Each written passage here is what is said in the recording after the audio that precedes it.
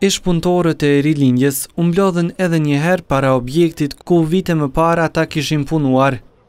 Por kësaj radhe për të shprehur pakënaqësitë në lidhje me mosndarjen e mjeteve të njëzet përqindëshit nga Agjencia Kosovare e Privatizimit.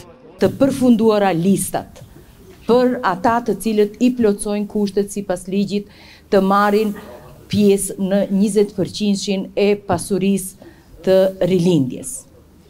Ajo çka është brengosëse është fakti që pse shtyhet kjo ndarje dhe ndërkohë pse janë bërë disa shkelje ligjore. Kemi dyshim të madh se këtu po përgatitet një falsifikim i madh që nuk do ta lejojmë. Kurrsesi, le ta dinë AKP-ja, kjo Agjenci e shkatërrimit, nuk është kjo agjenci e privatizimit, kjo është agjenci e falimentimit të ndërmarrjeve në krejt Kosovën.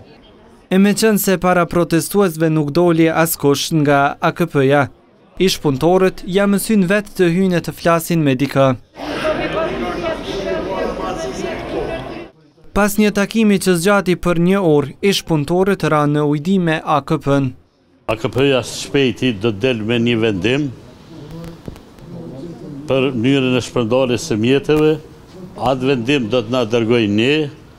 Në momentin që ne e pranojmë si të tillë, mjetet do të shpërndahen. Kjo është ajo që mund t'ju themi për përgjigjen që na dha AKP-ja, e cila deri tash një përgjigje të tillë nuk na ka dhon, po u dasht me bo një presion.